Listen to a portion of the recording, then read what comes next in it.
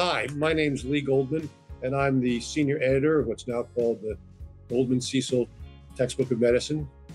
First published in 1927 as a textbook of medicine by Russell Cecil, and now continued for almost a full century.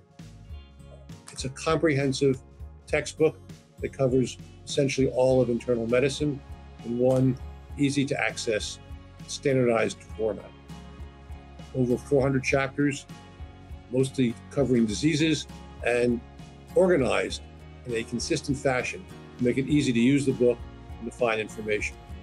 For example, essentially all the chapters start off with a definition of the disease, followed by its epidemiology, pathobiology, the clinical manifestations, which are the symptoms and signs that patients present with, how to diagnose it, how to treat it, how to prevent it if possible, and what the prognosis is.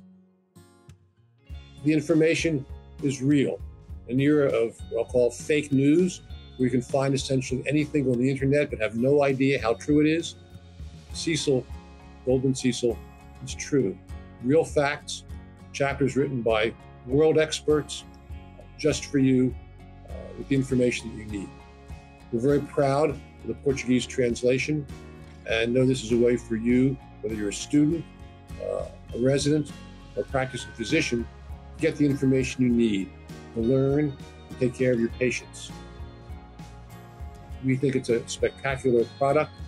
Uh, we're very proud of it, and we're confident that you'll enjoy it learn from it and use it regularly. Thank you.